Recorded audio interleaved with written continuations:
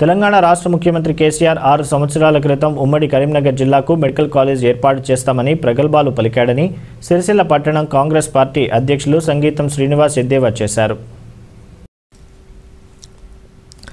ఈ సందర్భంగా ఆయన మాట్లాడుతూ ఉమ్మడి కరీంనగర్ జిల్లాకు ప్రభుత్వం మెడికల్ కాలేజ్ ఏర్పాటు చేస్తామని ముఖ్యమంత్రి కేసీఆర్ ఉత్తమాటలు చెప్పాడని మాజీ MP Ponnam Prabhakar Goud medical college కోసం నిరాహార దీక్ష చేస్తున్నా పట్టించుకోకుండా అక్రమ అరెస్టు చేయడం సిగ్గుచేటన్నారు. ఆరోగ్య మెడికల్ కాలేజ్ ఏర్పాటు చేస్తే కరోనా ప్రభావం నివారణ కోసం జిల్లా ప్రజలకు ఆసుపత్రి వస్తువులు ఉపయోగకరంగా ఉండేవన్నారు. తక్షణమే మెడికల్ కాలేజ్ ఏర్పాటు చేయాలని లేకుంటే కాంగ్రెస్ పార్టీ ఆధ్వర్యంలో ఉద్యమాలు చేయడానికి సిద్ధంగా ఉన్నామని తెలిపారు.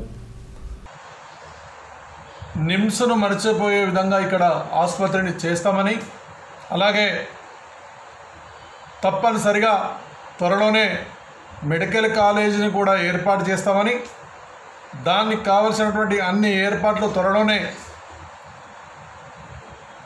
అన్ని విధాల చర్యలు తీసుకుంటాం. అతి త్వరలోనే కరీంనగర్ జిల్లాలో. మెడికల్ కాలేజీ తప్పనిసరిగా వస్తుందని చెప్పి హామీ ఇచ్చి రెండు వేల పద్నాలుగులో ఇచ్చినటువంటి హామీని పదిహేను పదహారు పదిహేడు వరకు కూడా నెరవేర్చకపోతే ఇక్కడ కరీంనగర్ ముద్దుబిడ్డ కరీంనగర్ పార్లమెంట్ మాజీ సభ్యులు శ్రీ పొన్నం ప్రభాకర్ గారు రెండు వేల పదిహేడులో ఆగస్టు ఐదు నాడు సీఎం గారు ఇచ్చినటువంటి హామీని త్వరలో నెరవేర్చాలి అని చెప్పి ఒక వారి మీద ఒత్తిడి తీసుకురావడానికి ఇక్కడ ఆమరణ దీక్ష చేసినటువంటి సంగతి తెలంగాణ ప్రజలందరూ కూడా తెలుసు.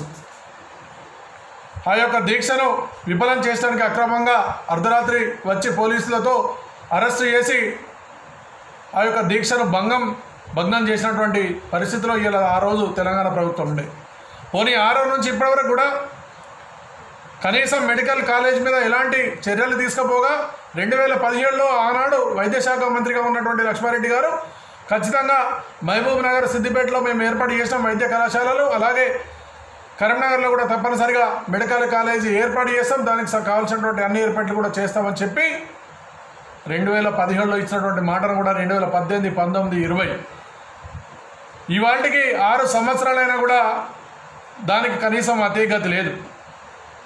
ఈ యొక్క మాటను నమ్మి కరీంనగర్ ఉమ్మడి జిల్లా ప్రజలు పన్నెండు మంది ఎమ్మెల్యేలను మీకు టీఆర్ఎస్ ప్రభుత్వానికి ఇచ్చినా ఈరోజు నలుగు మంత్రులు క్యాబినెట్లో ఉన్నా కూడా ఈ యొక్క మెడికల్ కాలేజీ ఏర్పాటు చేయకపోవడం నిజంగా సిగ్గు చేటైనటువంటి విషయం.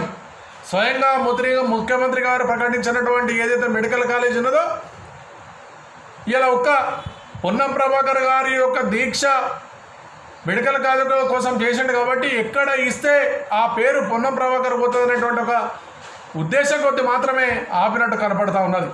ఇలా మహబూబ్ నగర్ కానీ సిద్దిపేట కానీ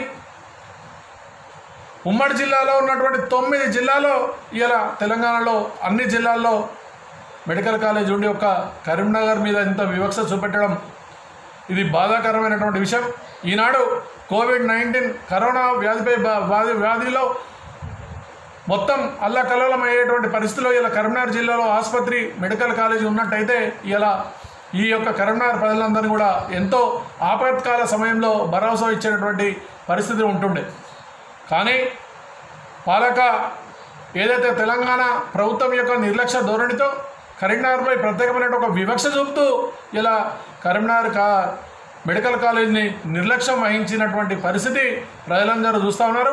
ఇప్పటికైనా నిజంగా మీరు ఇచ్చిన మాట నిలబెట్టుకోవాలనేటువంటి ఉద్దేశం ఉంటే సీఎం కేసీ గారు గారి కానీ వారి మీద ఈ నలుగురు మంత్రులు జిల్లాలో ఉన్నటువంటి నలుగురు మంత్రులు కూడా ఒత్తిడి తీసుకొచ్చి కరీంనగర్ ఉమ్మడి జిల్లాలో కరీంనగర్ మెడికల్ కాలేజీని ఏర్పాటు చేసే చేసే విధంగా మంత్రులు చేయాలని లేకపోతే మేము ఇచ్చినటువంటి మాట మాతో అయితలేదని తెలంగాణ ప్రజలకు అందులో ఉమ్మడి కరీంనగర్ జిల్లా ఉన్నటువంటి ప్రజలకందరూ కూడా క్షమాపణ చెప్పాలి. ఈ యొక్క రాష్ట్ర ప్రభుత్వం అని కాంగ్రెస్ పార్టీ పరీక్షన మేము డిమాండ్ చేస్తూ ఉన్నాం.